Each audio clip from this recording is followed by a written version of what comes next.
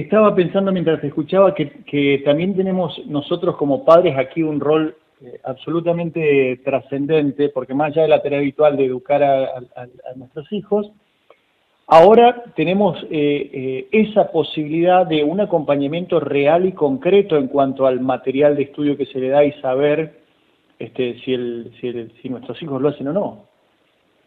Claro, por eso nosotros en un primer momento hicimos y seguimos con el grupo de los padres adultos convivientes porque creemos que, es, fundamental. Si bien nosotros desde la escuela siempre decimos que el rol de la familia y de los adultos es esencial, bueno, ahora les toca acompañarlos desde, desde otro lugar. Eh, desde sentarse por ahí con ellos y por más que no sepan el contenido, tratar de buscar recursos, aquel que lo tiene, mediante videos. Con respecto a eso, nuestros eh, docentes están eh, indagando, filmando videos, viendo la forma de cómo, porque vamos a algo que es esencial, la presencialidad del docente en las explicaciones y en el... Eh, no, eso no se puede suplir. Es insuplantable. Es insuplantable, o sea, es algo que, que creo que es la base de los vínculos, del aprendizaje y todo, pero bueno, en este momento nos toca transitar esto para cuidarnos todos y bueno, por eso creo que ahí el rol del adulto conviviente, responsable y de los docentes y del equipo directivo y de toda la comunidad en ayudar y tender redes es fundamental. Y, y, María Marta, digo, eh, tu, tu olfato como docente, eh, esto, digamos, este, si bien es insuplantable el rol presencial del profesor y, los vínculos que se generan y demás, eh, ¿puede ser también una oportunidad para el docente para reinventar este, formas educativas?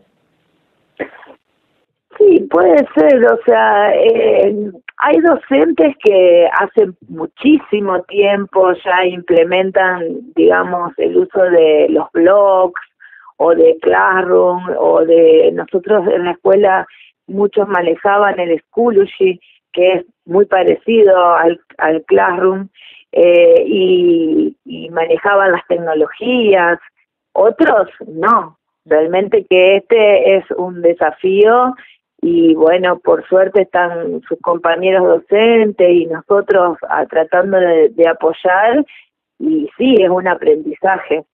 Eh, seguramente, como decimos todos, de, de estas experiencias no vamos a hacer lo mismo y no vamos a volver con, con los mismos conocimientos. Cuando nos encontremos en la escuela también tendremos que reinventar, a ver, eh, las planificaciones, eh, un montón de cosas que el docente por ahí ya lo tiene pensado de acá, digamos, a todo el año o decir, bueno, eh, no pudimos hacer el diagnóstico, algunos chicos de primer año, eh, bueno, no los conocemos, pero ahora lo conocemos a través de otro lado, eh, de la virtualidad y del conocimiento del contexto de cada uno de ellos.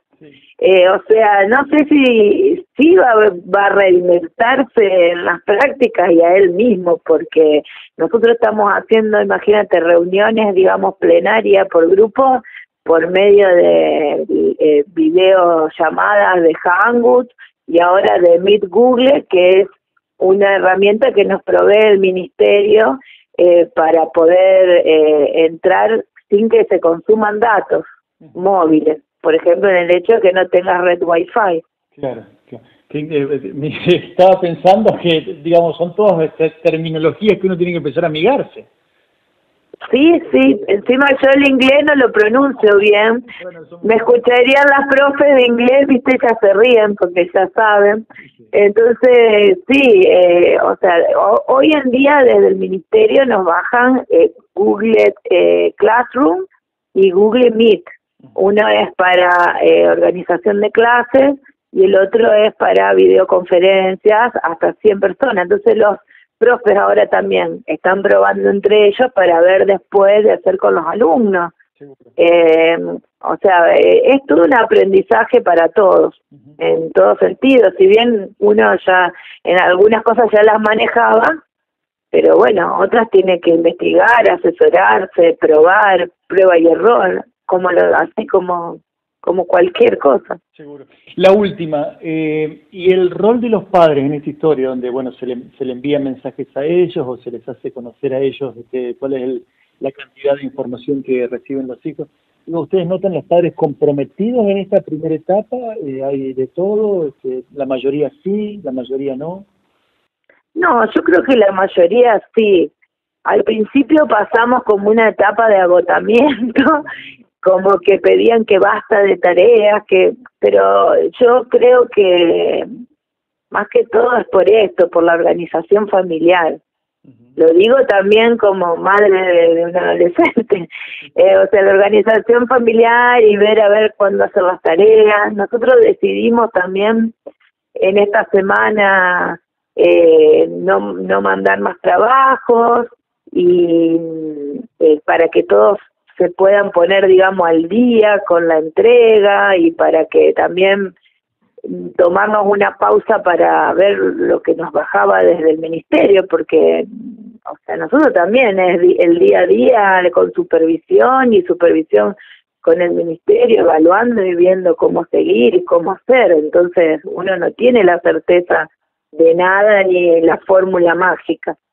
Y para la semana que viene pensamos también una serie de, actividades más relacionadas con contenidos transversales como educación sexual integral, como un proyecto solidario que no te lo voy a no lo voy a decir porque lo vamos a lanzar la semana que viene. Eh, y el proyecto del musical y bueno, tenemos la esperanza que para noviembre vamos a poder a poder hacerlo. Entonces, bueno, vamos dosificando un poco para que los papás, si bien nos respondieron muy bien, obviamente que hay situaciones, como te dije antes, especiales de, de cada alumno, siempre decimos que las trayectorias de cada alumno son individuales, entonces, pero la mayoría de los de los papás, por supuesto que tenemos todo el apoyo y, y, trabajan junto a nosotros, por eso aprovecho la oportunidad para, para agradecerles, eh, para que eh, sepan que nosotros sentimos que ellos están al lado nuestro y que, bueno, para que comprendan también esta situación particular que es de todos, eh, en cada casa, en cada casa de cada docente también se viven situaciones particulares y bueno, estamos haciendo, reinventándonos como podemos y como creemos que es lo mejor para, para ellos.